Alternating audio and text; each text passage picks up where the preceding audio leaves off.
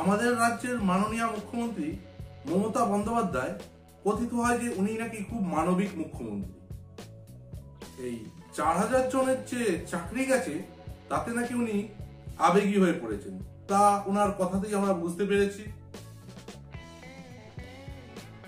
উনি বিচারপতিদের কাছে অনুরোধও জানাচ্ছেন যে তাদের চাকরি যাতে কোনোভাবে ফেরত পাওয়া যায়। অর্থাৎ যারা বেআইনিভাবে পেয়েছে, তাদের আইনিভাবে চাকরি ফেরত যাওয়ার বন্দোবস্ত। উনি ওনার বক্তব্যে জাস্টিস অশোক গাঙ্গুলির অর্ডারের কথা তুলে ধরেছিলেন।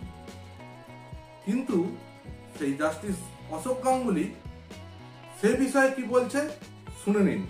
আমি অশোক গাঙ্গুলির একটা ভার্ডিক দেখেছিলাম সিপিএমের আমলে। চাকরি নিয়ে একটা কেস হয়েছিল। উনি বলেছিলেন রায়তে যে সংশোধন করে নাও যদি ভুল থাকে। মাননীয় মুখ্যমন্ত্রী যখন বলছেন, হয়তো দিয়েছিলাম, কিন্তু উনি বলছেন এটা দিয়েছিলাম যখন বামফ্রন্ট সরকার ছিল। বামফ্রন্ট সরকারের আমলে আজকে যেভাবে নিয়োগ দুর্নীতি জনসমক্ষে এসছে, সে ধরনের কোনো নিয়োগ দুর্নীতি হয়নি। আসলে বলতে গেলে আজকের যে নিয়োগ দুর্নীতি হয়েছে শিক্ষকদের নিয়োগের ক্ষেত্রে, এই জাতীয় নিয়োগ দুর্নীতি পশ্চিমবঙ্গ সরকারের এতদিনের ইতিহাসে কোনো দিন হয়নি। সুতরাং আজকে যেটা হচ্ছে, সেটা একটু অন্যরকম। সেক্ষেত্রে ওই আমার ওই রায়টা খাটে না। সেখানে হয়তো কোনো পদ্ধতিগত ত্রুটি ছিল। কিন্তু আজকের দিনে কি আমরা দেখছি?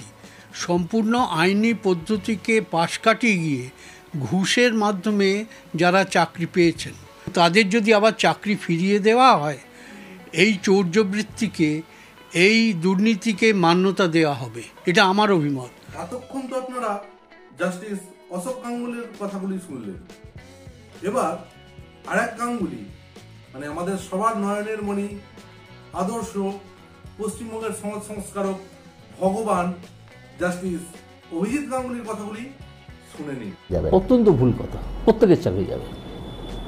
যারা যারা দুর্নীতি করে ঢুকেছে ধরতে পারলেই এবং আশা, আমি আশা করি ধরা যাবে, তাদের চাকরি যাবে। তারা যেন নিশ্চিন্তে না থাকে। দুই গাঙ্গুলি আমাদের মুখ্যমন্ত্রীকে আশা দিতে পারলেন দর্শক, আমরা কিছু আর বলব না।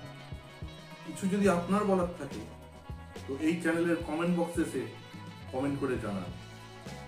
আর এই চ্যানেলটার সঙ্গে থাকতে চ্যানেলটিকে সাবস্ক্রাইব করুন।